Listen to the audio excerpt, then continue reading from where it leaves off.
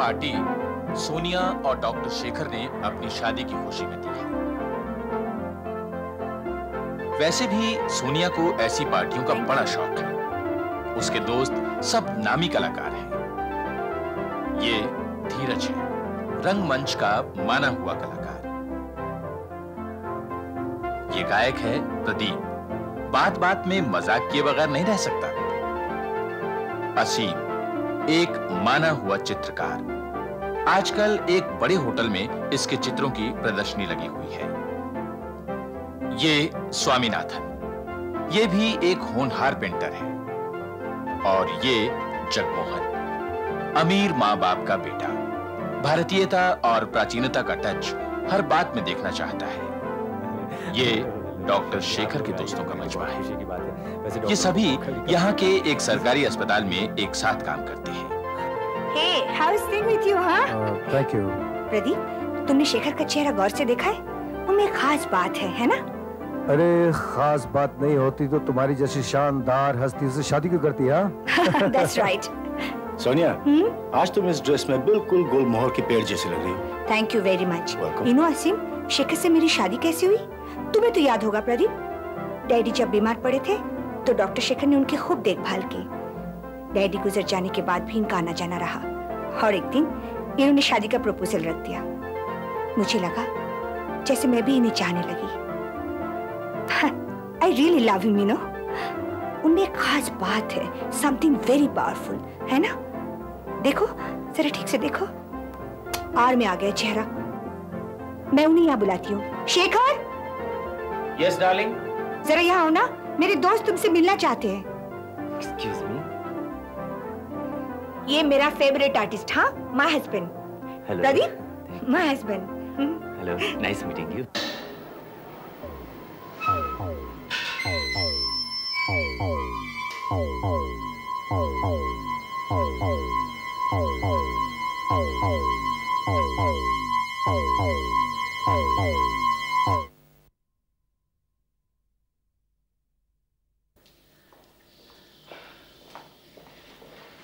doctor साहब ये बताइए कि हमारी भाभी जी कैसी हैं?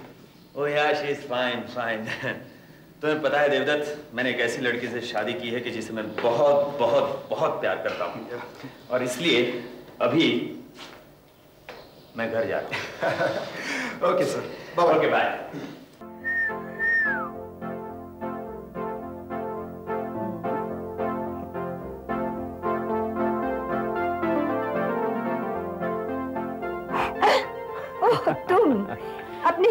ही घर की तरह आने लगे हैं ना? हम्म क्योंकि इस घर का मालिक अब कोई और हो गया है इसलिए। अच्छा ये बताओ हम्म? ये पेंटिंग तुम्हें कैसी लगी? ये पेंटिंग हाँ। बता सकता हूँ लेकिन एक शर्त पर। वो क्या? इसका मतलब समझा दो। हम्म? तुम्हारी सेंस ऑफ़ ह्यूमर काफ़ी अच्छी है। हम्म। इंटेलिजेंट भी हो हम्म। पर एक कमी ज़रूर है हाँ, चलो वो भी बता दो वो भी हम दूर कर देंगे। आर्ट और आर्टिस्टों में तुम्हें कोई दिलचस्पी नहीं। ना तो तुम पेंटिंग और लिटरेचर में इंटरेस्ट रखते हो और ना ही तो संगीत और थिएटर में। बहुत बुरी बात है।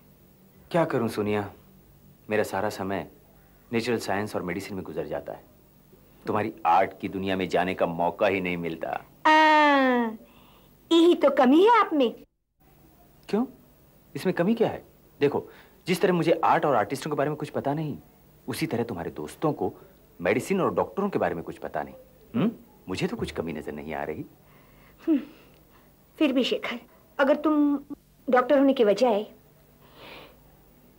एक बहुत बड़े आर्टिस्ट होते तो? हम्म तो क्या होता? मुझे तो दो आँखें होती एक नाक होता दो पैर होते बस। कलेजा होता और आर्ट! होता बोलो और एकदम कलेजा- चुप!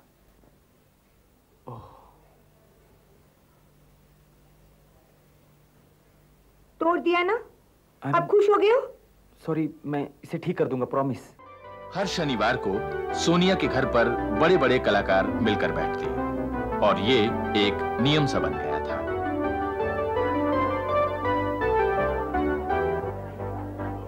सोनिया भी कमाल की लड़की है अगर वो एक ही आर्ट में तवज्जो देना तो वो गजब की कलाकार बन सकती है। देखिए मैं भी सोच रहा था।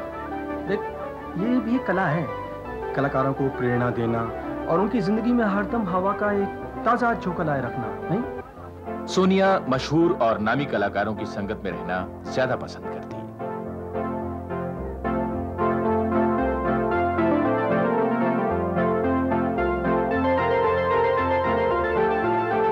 कभी न सोचा कभी न सोचा था ये खुरदरे हाथ एक मल्लिका के बिल्लोरे हाथों तक पहुँचे।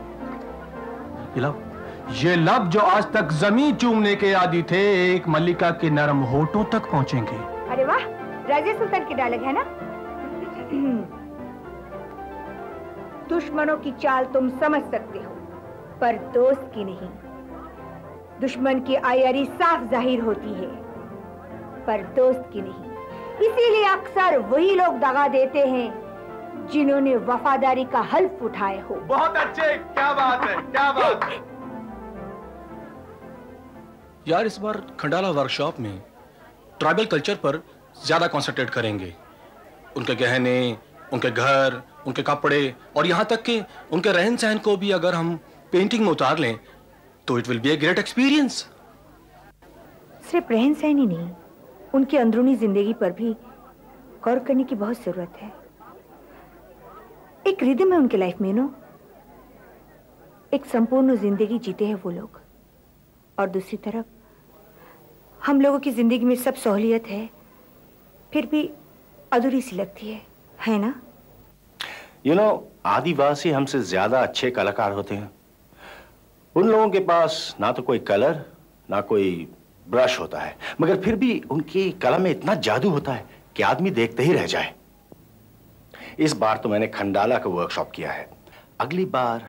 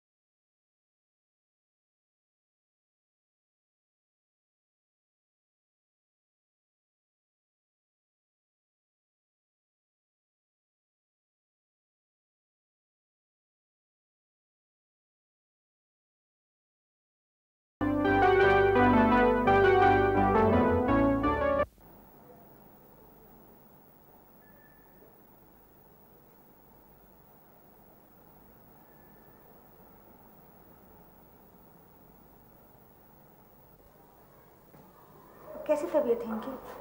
अरे ज़्यादा परेशान होने की ज़रूरत नहीं। ऐसे छोटे मोटे इन्फेक्शन तो हम डॉक्टरों को हुआ ही करते हैं। अगर इतना छोटा मोटा होता तो आप इतने दिन तक घर पर बैठे नहीं होते। अरे घबराइए मत भाभी जी। देखना हमारे डॉक्टर साहब बहुत जल्दी ठीक हो जाएँगे। हम्म, दो दिन पहले एक ऑपरेशन करते वक्त मेरे हाथ की उंगली कट गई थी। उसका इन्फेक्शन तो इससे भी ज़्यादा खतरनाक होता। हम्म, ज़्यादा बातें बनाने की ज़रूरत नहीं। है आराम कीजिए और इसका ध्यान रखिए। असीम साहब आए हैं। हाँ? असीम साहब आए हैं। ओह हेलो अश्विन इतने दिनों से तुम स्टूडियो क्यों नहीं आए शेखर की तबीयत ठीक नहीं थी। हाथ जरा ठीक है वो।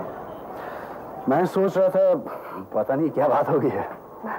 ओ ये पेंटिंग मैंने खत्म कर दी। कैसी रही? गुड वेरी गुड आखिर तुमने ये बना ही ली।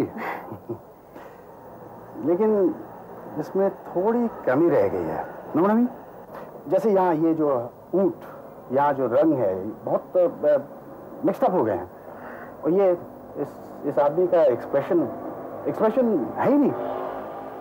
और यहाँ ये जो पहाड़ है ये ब्राउन रंग शायद तुम्हें बहुत ज़्यादा पसंद है। एक्चुअली सो करेक्ट मैं भी कुछ ऐसी सोच रही थी। सुनो वो जो खंडाला वर्कशॉप का प्रोग्राम वो पक्का है ना? बिल्कुल। गड़बड़ नहीं करोगी? इम्पॉसिबल अच्छा मैं चलता हूँ।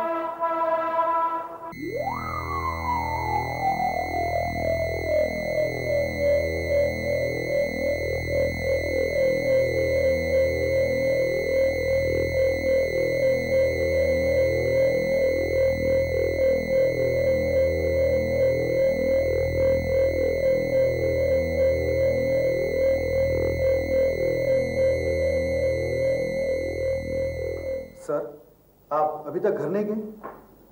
आजकल आप ज़रूरत से ज़्यादा ही काम कर रहे हैं। देवदत्त तुम्हारी भाभी घर पे नहीं है। इसलिए अस्पताल में काम करके हम अपना जी बहला रहे हैं। क्यों? कहाँ गए वो? खंडाला किसी पेंटिंग के वर्कशॉप में। पंद्रह दिन हुए उन्हें गए और दूसरे पंद्रह दिन अभी बाकी हैं उन्हें आने में। ये तो बड़े जुल्म की बात है। हमारे दिल से पूछो हम पर क्या गुजर रही है। तो डॉक्टर साहब आप एक काम क्यों नहीं करते हैं? अ, भाभी से मिलने दो चार दिन खंडाला चले जाइए। यू इडियट स्टूपिड फूल ये बात तूने पहले क्यों नहीं बताई? हाँ? लेकिन अभी आप कहाँ जा रहे हैं? खंडाला। डॉक्टर साहब आपने सुबह से नाश्ता भी नहीं किया और अभी तो लंच टाइम हो गया है। खाना खाकर ही जाइए आप। अब तो लंच में उसी के साथ लूँगा। ये भी ठीक है? हाँ उसकी पसंद की दो चार चीज़ें खरीदनी है वो खरीद कर। मैं वहाँ पहुँच जाता हूँ। समझे? ओके अब by the way thanks for the suggestion thank you and all the best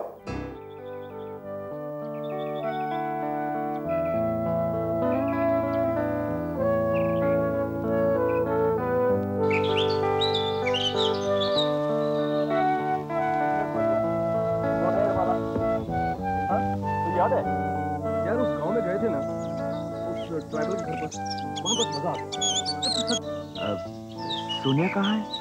बाहर गई। लेकिन उनका जो फेस्टिवल था ना वो colourful very very very colourful orange red वो लोग जो मिक्स करते हैं कितना अच्छा लगता है। एक बात मैंने नोट की वो जो लकड़ी के औज़ार बनाते हैं ना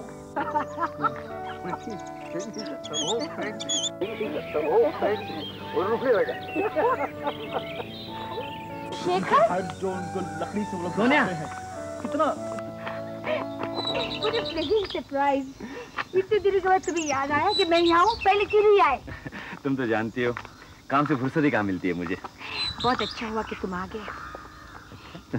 तुम्हें पता है कल रात तुम मेरे सपनों में आए। हाँ? काश तुम्हें मालूम होता कि कितना अच्छा आदमी हो तुम। इस वक्त यहाँ आकर तुमने मुझ पर एक बहुत बड़ा एहसान किया है। एहसान कैसा? तुम्हें मिलने की इच्छा हुई और मैं चला आया? हम्म, इस वक्त मदद के लिए मेरी किस्मत तुम्हें यहाँ ले आई है। मदद? कैसी मदद? एक मुसीबत में फंस गई हूँ। क्या मुसीबत? ये जो कॉटेज है ना हम्म? इसके मालिक है मिस्टर पिंटो। कल उनकी बेटी की शादी है। वॉट आर्टिस्ट ही कितना अच्छा वायलिन बजाता है। हम सब लोगों ने प्रॉमिस किया है उसकी शादी अटेंड करेंगे। पर एक प्रॉब्लम है। क्या प्रॉब्लम शादी में पहनने के लिए कोई अच्छे कपड़े ही नहीं लाई मैं। तुम घर से मेरी पिंक साड़ी ला दो ना। देखो अलमारी खोलोगे ना राइट साइड में मिलेगा। ब्लाउज पेटीकोट सब साथ में ही है। ला दो ना प्लीज़ अच्छा बाबा मैं कल सुबह जाकर ले आऊँगा बस। कल सुबह? सुबह तो शादी है। तुम अभी चले जाओ ना। अभी? हाँ देखो अभी निकल गए ना तो नौ बजे तक तुम घर पहुँच जाओगे। और सुबह पाँच बजे निकलोगे तो यहाँ आठ बजे तक पहुँच जाओगे। क्या हुआ? अगर तुम नहीं आ सकते तो किसी के हाथ भिजवा दो। प्लीज़ भिजवा दो। असीम ने कहा है शादी का सारा माहौल मुझे रंगों में समेटना चाहिए। पीछे पहाड़ों का बैकग्राउंड कितना बढ़िया चित्र बनेगा। प्लीज़ तुम मेरे लिए इतना कर दो। प्लीज़ अच्छा बाबा। ला दोगे हाँ स्वीट हार्ट तुम्हें भेजते हुए मुझे बुरा तो लग रहा है। आज अगर तुम रह जाते तो मुझे बहुत खुशी होती। ऐसी कोई बात नहीं। ये क्या? तुम्हारे लिए खाना लाया था। ओह। तुम खा लेना। Así, hielo.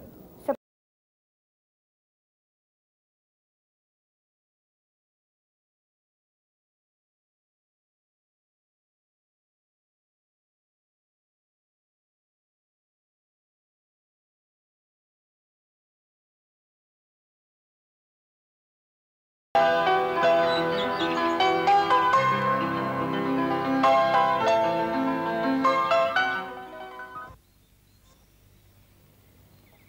ये आसमान, ये महक के फूल, पंछियों की सुरीली आवाज़ें और दूर दूर तक फैली गन्नी झाड़ियाँ एक ही चीज़ की हमें याद दिलाती हैं कि हम कुछ भी नहीं। वो पानी पर पेड़ों के साय देख रही हो, वो ख्वाब है। जब रात उतरेगी तो सब कुछ उसमें डूब जाएगा। वो ख्वाब भी, हम भी, मैं भी, तुम भी। नहीं। मुझे अंधेरे में नहीं डूबना है। मुझे तो उस पंछी की तरह बहुत ऊँचा जाना है। तुम्हारी रग रग में ये ज़िंदगी की ललक कहाँ से आई है? जब तुम्हारी तरफ़ देखता हूँ तो जीने को जी चाहता है। सोनिया मेरे करीब आ जाओ। आई नीड यू आओ हम दोनों एक दूसरे को जला डालें। नहीं मुझसे इस तरह की बातें मत किया करो। तुम जानते हो कि मैं शादीशुदा हूँ। शादी? इस वक्त हमारे बीच में शादी की बात कहाँ से आ गई? यहाँ हम अकेले हैं दो अकेले इस वक्त हमारा कोई अतीत नहीं है। ये सारा माहौल हमें एक दूसरे में डूबने के लिए मजबूर कर रहा है। आओ, आओ। नहीं नहीं मुझे आ, छोड़ दो।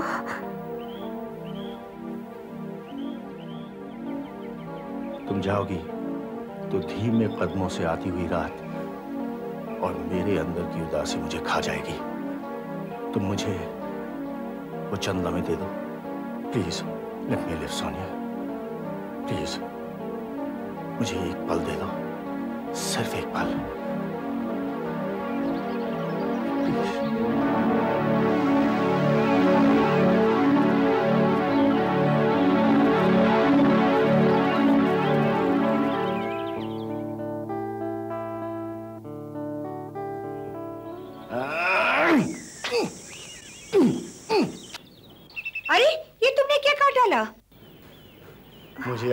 हाथों का भरोसा नहीं रहा। हा?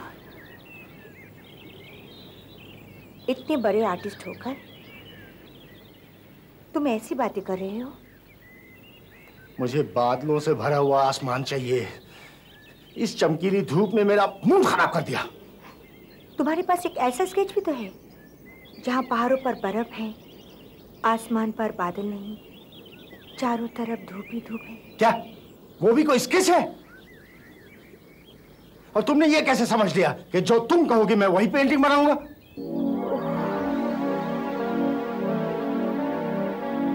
इस एक हफ़्ते में तुम कितने बदल गए हो? हाँ, मेरे दिल की हालत का अंदाज़ा लगाती तो तुम्हें पता चलता। जब मुझे ही अपने काम पर भरोसा नहीं रहा तो क्रिटिक्स क्या कहेंगे? मुझे लगता है हर चीज़ मेरे खिलाफ एक साजिश कर रही है।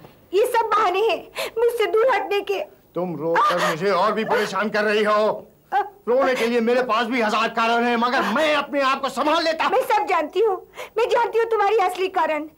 कि अब तुम मुझसे तंग आ चुके हो? मैं क्या इतना भी नहीं जानती कि तुम मेरी वजह से मेरे प्यार की वजह से सबके सामने शर्मिंदगी महसूस करते हो? मैं तुमसे एक ही बात चाहता हूँ मुझे अकेला छोड़ दो। मेरी परेशानियों को मत बढ़ाओ। तुम यहाँ से चली जाओ। मैं चली जाऊँगी। लेकिन तुम कसम खाओ कि तुम मुझसे प्यार करते हो। ओह माय गॉड मैं अपना सर फोड़ूँगा पहाड़ की चोटी से कूद जाऊँगा। प्लीज़ मुझ पर रहम करो।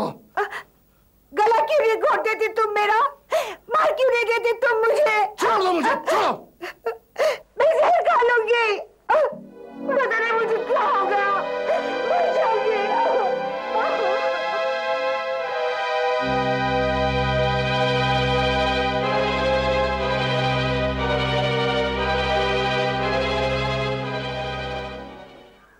प्यारी सोनिया, तुम्हारा तार मिला।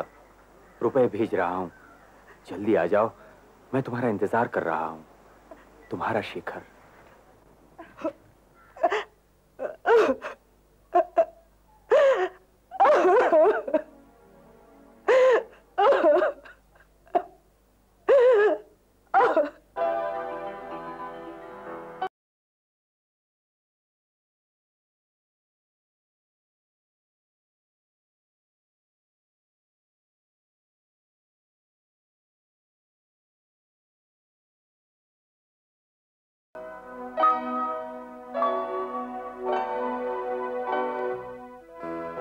असीम की बेरुखी से सोनिया वर्कशॉप छोड़कर अपने घर की ओर रवाना हुई।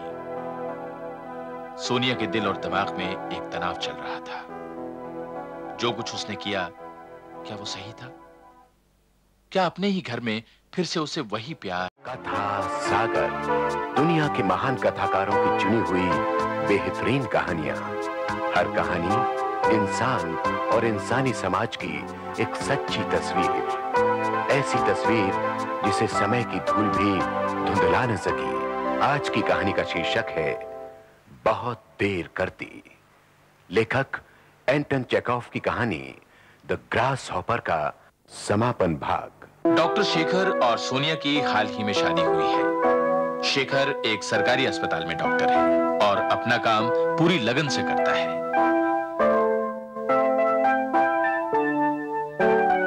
सोनिया को विभिन्न कलाओं से बहुत लगाव है। और उसके सारे मिलने वाले भी मशहूर कलाकार हैं।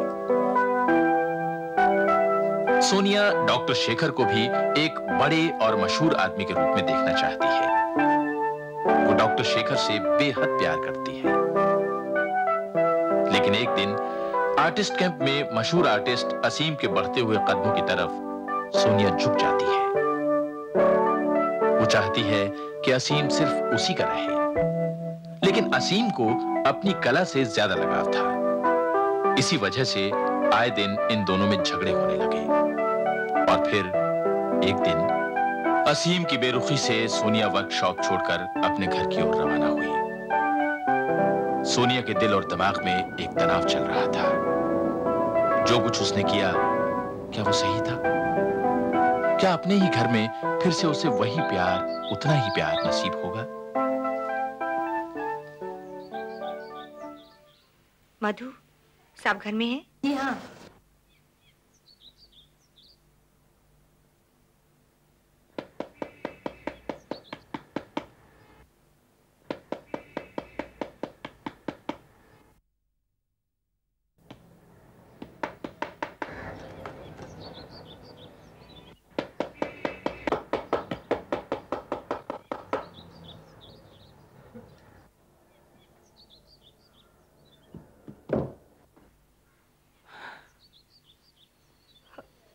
सोनिया शेखर सोनिया क्या हुआ सोनिया उदास हो गई मेरे बगैर? हम्म? मैं मैं तुम्हें कुछ बताना चाहती हूँ। हम्म? बताओ। मैं हाँ हाँ। शेखर? हम्म? आगे से कभी इस तरह घर से दूर, तुमसे दूर मैं नहीं जाऊँगी, शेखर। मैं नहीं जाऊँगी। सोनिया।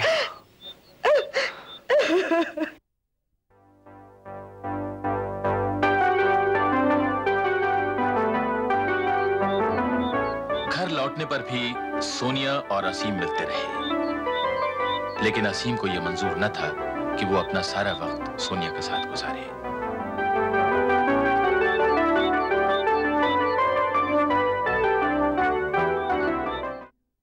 बात है सोनिया। जब से तुम खंडाला से आई हो कभी कभी गुमसुम हो जाती हो खो जाती हो हम्म? मैं बात करने की कोशिश करता हूँ और तुम जवाब भी नहीं देती। एक हफ़्ता हुआ तुम्हें वहाँ से आए हुए और तुमने ये भी नहीं बताया कि तुम्हारी ट्रिप कैसी रही। अच्छी रही। तुम लोग आदिवासियों की बस्ती में जाकर उनका रहन सहन अपनी पेंटिंग में उतारना चाहते थे ना? उसमें सफलता मिली Sonia? Darling I am feeling very tired नींद आ रही है। गुड नाइट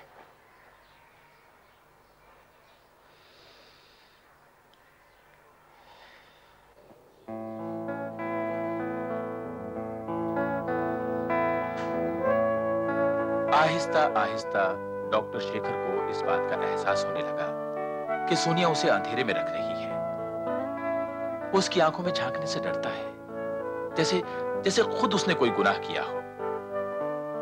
सोनिया के साथ घर में अकेले रहना मुश्किल हो गया। अब वो अक्सर अपने दोस्त डॉक्टर देवदत्त को घर ले आता और अपना सारा समय उसके साथ बिताता।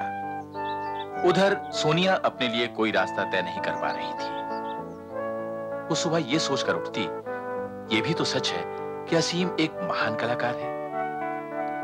थोड़ी देर के बाद सोचने लगती कि असीम के कारण ही उसका पति डॉक्टर शेखर उससे दूर हो गया है। उसे यह भी ख्याल आता कि असीम ने आज तक जो अच्छा काम किया है उसी की प्रेरणा से किया है। अगर वो असीम की ज़िंदगी से निकल जाएगी तो उसकी कला फीकी पड़ जाएगी।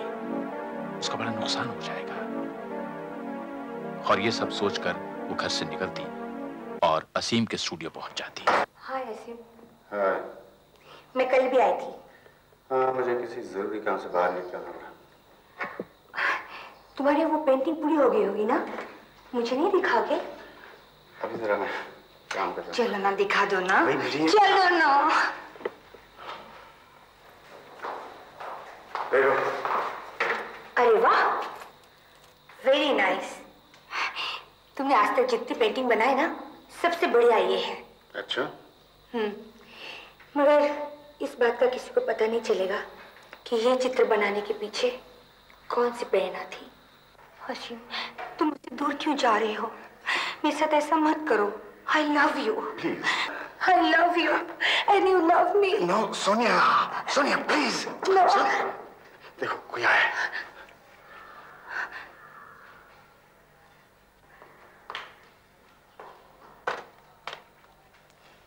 हाय सीम हाँ सोनिया आओ आ जाओ। हाँ बोलो। मेरा काम कहाँ तक पहुँचा? तुम्हारा हाँ तुम्हारा काम तो मैंने कर दिया है। तुम एक बार बैठो मैं आता हूँ ठीक?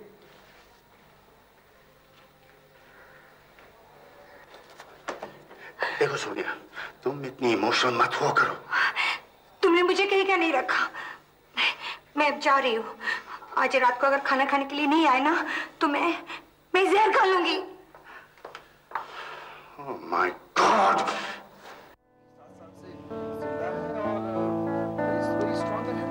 उसके बॉडी की पूरी सिस्टम उसके हार्ट को फेल करने की कोशिश कर रही है और इसीलिए अब आए हो तुम। मैं कब से तुम्हारा इंतज़ार कर रही हूँ? मैं किसी काम से इस तरफ़ आया था। सोचा तुमसे मिलता चलूँ। अच्छा मैं चलता हूँ। अरे खाना नहीं खाओगे? नहीं जल्दी है। जल्दी थी तो आए क्यों? तुमने बुलाया तो मैं आया। अच्छा जब आ गए हो खाना खा कर जाओ। सो- चलो सोनिया, आओ please। बैठो। ऐसा मत करो। ओ, बैठो। मुझे मालूम है तुम्हारा ये जल्दी जाना भी एक बहाना है और ये जो तुम मुझे गुस्सा दिखा रहे हो ना सिर्फ़ दिखावा है। दिस इज़ द लिमिट मुझे घुटन हो रही है। असीम! मैंने मैंने कहा ना मुझे जाना है। अच्छा बाबा जाना है तो जाओ। तुम क्या समझते हो मैं तुम्हारे बगैर जी नहीं सकती? जी सकती हो तो जहर खाने की धमकी क्यों देती हो? प्लीज़ मत करो मेरे साथ ऐसा। तुम्हें मालूम है मैं तुम्हारे बगैर जी नहीं सकती। हाँ, तुम मुझे छोड़ोगी या नहीं? कहाँ जाओगे? एक खास दोस्त मेरा इंतज़ार कर रही है। अब तो मुझे उसके साथ खाना भी खाना होगा। छोड़ो असीम प्लीज़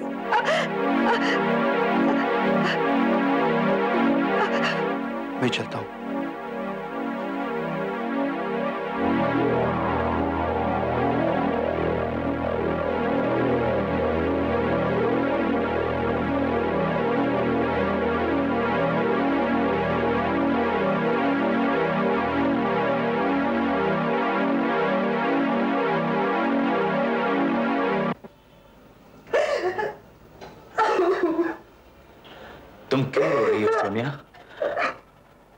असीम ने कुछ कहा? देखो तुम इस तरह रोगी तो सब लोगों को पता चल जाएगा सोनिया। तुम मुझे मेरे हाथ में छोड़ दो ना। मैं जा रही हूँ। इतनी रात गए कहाँ जा रही हो सोनिया?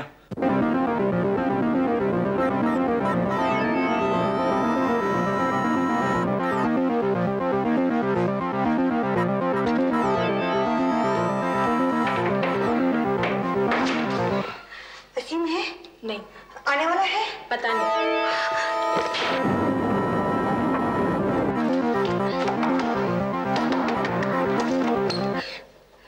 असीम है? नहीं।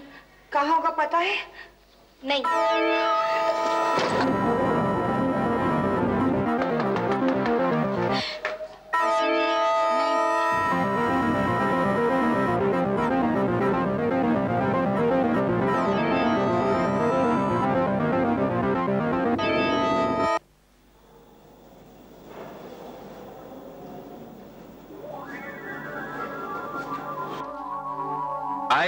सोनिया के इस रवैये से डॉक्टर शेखर सोनिया से और दूर हो गया। अब वो अपना सारा वक्त मेडिकल रिसर्च में बिताने लगा। डॉक्टर साहब डॉक्टर साहब कॉन्ग्रेचुलेशन कॉन्ग्रेचुलेशन किस लिए देवदत्त? आपका थीसिस एक्सेप्ट हो गया। बस चारों तरफ़ डॉक्टर साहब इसी की धूम मची हुई है।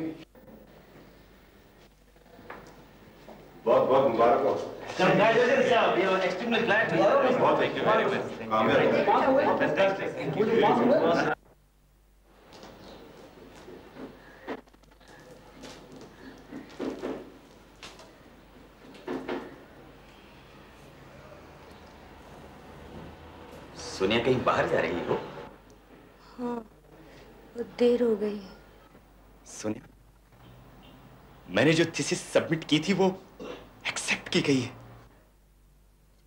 हाँ? देखो, बोर्ड की ओर से मुझे कमेंडेशन लेटर भी आया है। आज हॉस्पिटल में डॉक्टर्स और डीन ने चारों ओर से मुझे घेर लिया। देखो ना, कितने सारे टेलीग्राम्स आए हैं मुबारकबादी के। तुम सुन रही हो ना? मुझे डॉक्टरेट मिल गया है, सोनिया।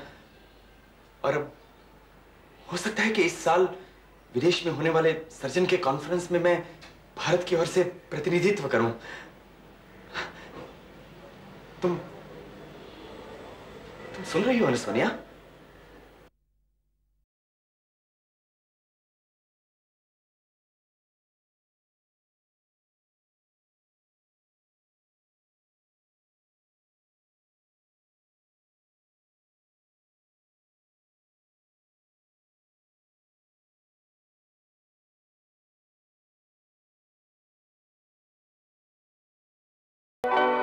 डॉक्टर शेखर को अपनी कामयाबी की इतनी खुशी थी कि अगर सोनिया उसमें शामिल हो जाती तो उसके सारे गुनाह माफ़ कर देता मगर सोनिया ने उसे यह मौका नहीं दिया डॉक्टर शेखर अब सब कुछ भूलकर अपना सारा वक्त अस्पताल में गुजारने लगा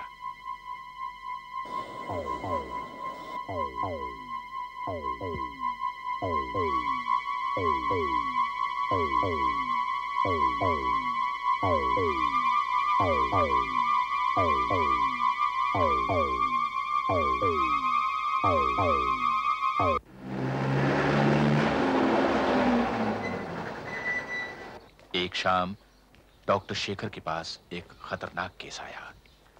एक बच्चे को डिप्थीरिया हो गया था और उसका फ़ौरन इलाज करना बहुत ज़रूरी था। Sir sir there is a very serious case of diphtheria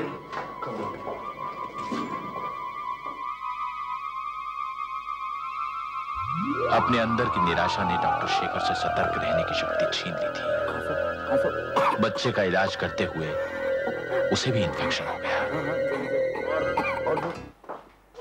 तुम हॉस्पिटल नहीं गए? नहीं आज कुछ तबीयत ठीक नहीं है इसलिए। कोई ज़्यादा तकलीफ़ तो नहीं? नहीं नहीं। मैंने देवदत्त को बुलाया वो भी आता हूँ।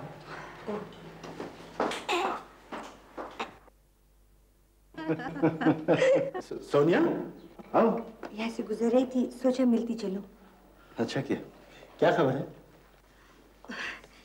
मैं मैं दरअसल मैंने जो तुम्हें अपनी बनाई हुई पेंटिंग दी थी ना एक बात कहूँ सोनिया बुरा नहीं मानना तुम्हें किसी एक आर्ट में अपने आप को डुबो देना चाहिए ना तो तुम पेंटिंग में ठीक से दिलचस्पी लेती हो ना संगीत में ना एक्टिंग में इसका नतीजा है कि आज तुम किसी चीज़ में भी अपना मार्क नहीं बना पाए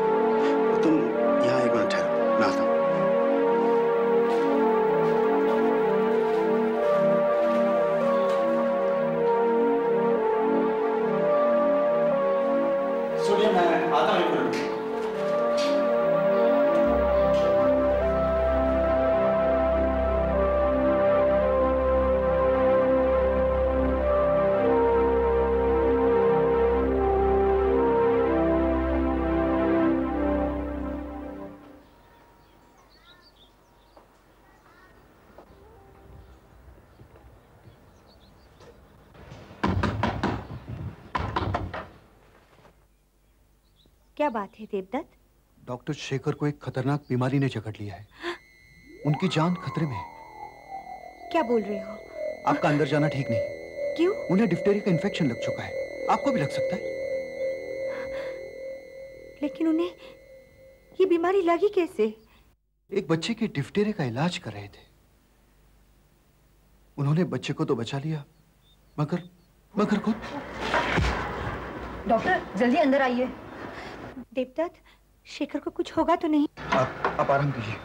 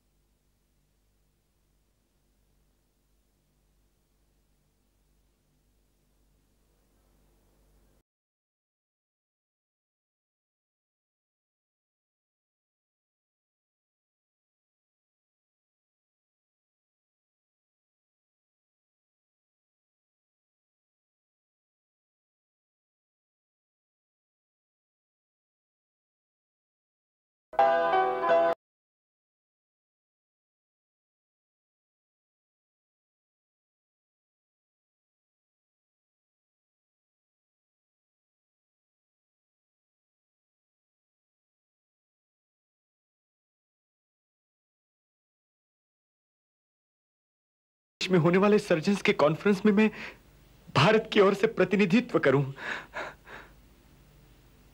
तुम तुम सुन रही हो ना सोनिया?